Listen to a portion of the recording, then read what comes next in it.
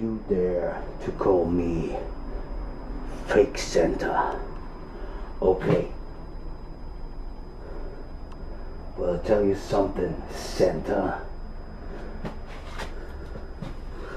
Fake Santa no longer exists.